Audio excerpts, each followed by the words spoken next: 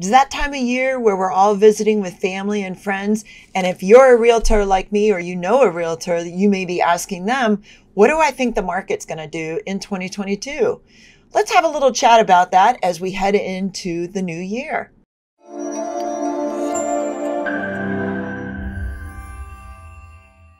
Welcome back. I'm Sandi Warner with Warner Realty Group. And today we're going to talk about what the projections are, what my own personal thoughts are, and what the talking heads are saying about the coming year. So, the first thing we want to talk about is um, where are interest rates at right now? Right before Thanksgiving, which was the last recording before I filmed this, interest rates were hovering right around 3.1%. So interestingly enough, the, a quick quote from Sam Khater of the who's the chief economist at Freddie Mac, the way he described it on November 24th was despite the noise around the economy, inflation and monetary policy, mortgage rate volatility has been low. For most of 2021, mortgage rates have stayed within half a percentage point, which is a smaller range than in past years. So a lot of talking heads out there right now and some of this is just the way media works now you can you get on uh, youtube and there's all sorts of people out there telling you what's going to happen based on actual data and based on what we've recorded over the last um, couple years, we're seeing that uh, volatility has been surprisingly low, and I think that's that's welcome news. If you look at the 30 year fixed rate since January of 2020, it was averaging right around 3.7, which is normal. And I'm going to show you a chart that shows you that uh, just in just a couple minutes here. We went into 2020 uh, and it was started dropping from 3.7 to 3.3. And then it jumped up at, at, the end of April. And this is this big volatility that we're talking about. So we see this sort of one point or half a point to one point to a point and then way up again and then way down again. And the reason we saw the rates go down, it was the influence of the Fed. Now, the Fed does not control mortgage rates, but what they do control is interest rates between banks lending to each other. And they can drop those rates in an effort to influence mortgage rates. What do I think is going to happen? I personally, um, just based on what's happened since I've been in real estate, I think we're going to go back to where we were, which was running between, uh, you know, 3.5 and maybe the low fours. And just to give you some historical perspective on that, this little chart that I'm popping up now, um, the bright yellow line, that's now, that's this month. And the star is where we were uh, just before Thanksgiving. In 2020, we saw a huge drop, and that's because of the Fed's impact or influence. Remember, the Fed does not set mortgage interest rates.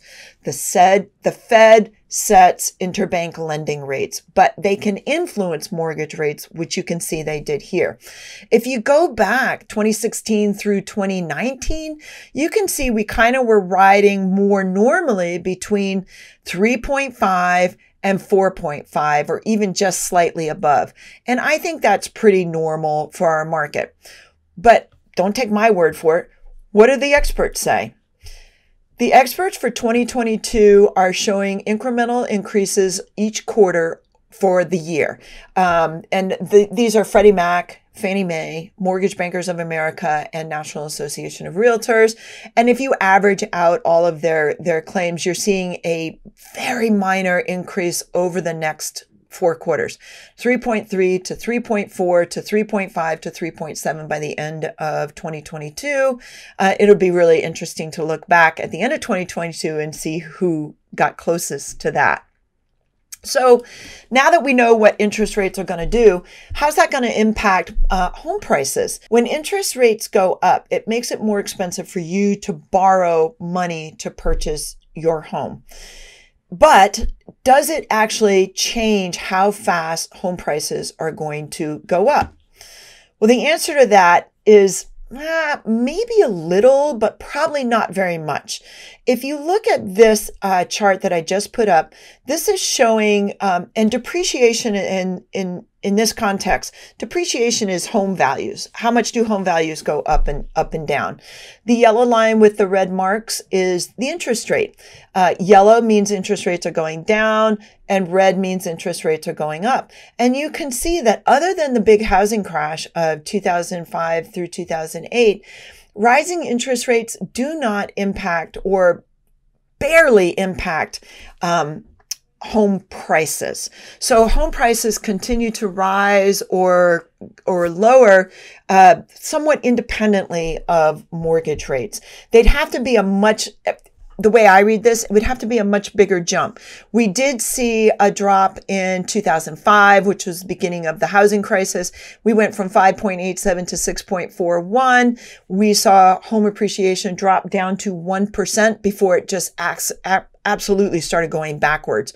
But in normal times, more normal times over the last 20 years, what we have seen instead is very, very minor impacts. And this is a really great quote. House price appreciation is resistant to rising mortgage rates primarily because most home sellers would rather withdraw from the market than sell at lower prices, a, ph- a phenomenon we refer to as downside sticky. And I think it's really cool that you now know that word, downside sticky. So use it in a sentence.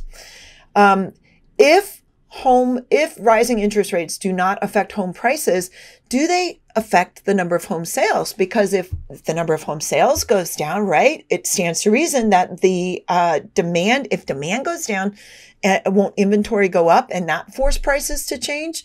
I don't know. Let's take a look. Well, the sad news is, is that home sales are not impacted by rising mortgage rates, as you can see from this data going back to 1989. Again, the yellow line is interest rates and the blue bars are numbers of home sales. While we'll see some variation from year to year, the overall trend is an increasing number of home sales, which makes sense. We have increasing populations. We have increasing people that want to buy homes, other than, again, the big dip in the housing crisis. Um, and that was remember you have to remember what the housing crisis was. There were no um, there was no loan modification. There was no deferment. There was no anything to help these people um, weather the storm that was caused by the bad lending environment. As we're moving out of that in 2020 20, excuse me 2010 all the way through currently in 2021 we're again seeing that uh, trend upward.